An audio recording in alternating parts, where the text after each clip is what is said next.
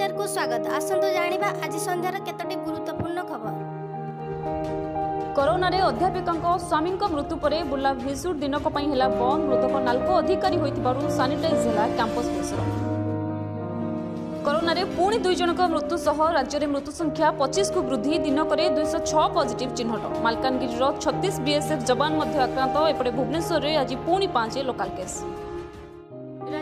ସମସ୍ତ ଜିଲ୍ଲାରେ ଶନିବାର ଓ ରବିବାର ଜାରି ରହିବ ସଟ୍ଡାଉନ୍ ଅଗଷ୍ଟ ଏକତିରିଶ ଯାଏଁ ସ୍କୁଲ କଲେଜ ବନ୍ଦ କର୍ଫ୍ୟୁ ଅବଧି ସାମାନ୍ୟ କୋହଳ ରାତି ନଅଟାରୁ ସକାଳ ପାଞ୍ଚଟା ଯାଏଁ ହେବ କର୍ଫ୍ୟୁ ଖୋଲିବନି ଧାର୍ମିକ ଅନୁଷ୍ଠାନ ପ୍ରତି ପଞ୍ଚାୟତରେ ହେବ କୋଭିଡ କେୟାର ହୋମ୍ ସୂଚନା ଦେଲେ ମୁଖ୍ୟ ଶାସନ ସଚିବ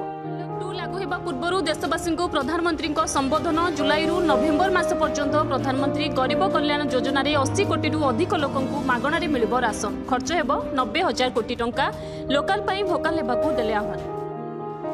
কালিঠু সবু কাউন্টরে মিলব মদ সকাল সাতটার সন্ধ্যা ছটা যাই মিলব বিদেশী মদ ও বিয় ভিড় এড়াইবা ই টোকন মদ আনিপারে গ্রাহক মাস্ক ও সামাজিক দূরতা বাধ্যতামূলক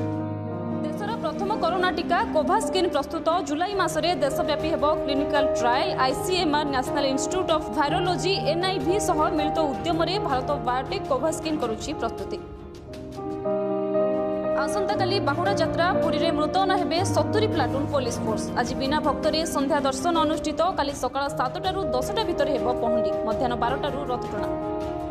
বিরা খবর ওড়শা সমাচার